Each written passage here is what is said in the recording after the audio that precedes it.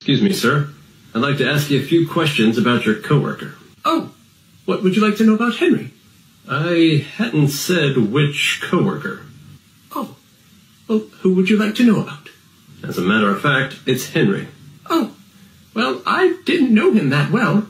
What do you mean, didn't? Oh, I just assumed something horrible had happened to him, like he'd been murdered. Is he all right? No, he's been murdered. Oh, my God.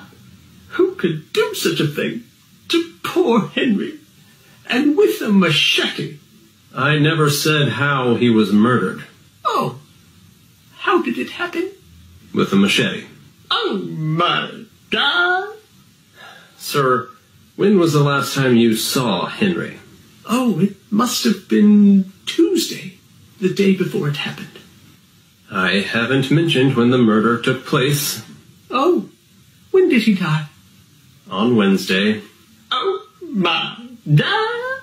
Killed on a Wednesday by a machete.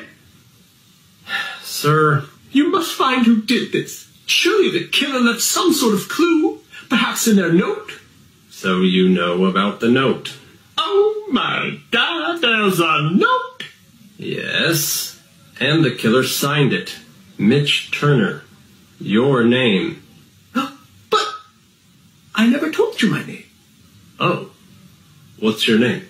Mitch Turner. Oh my.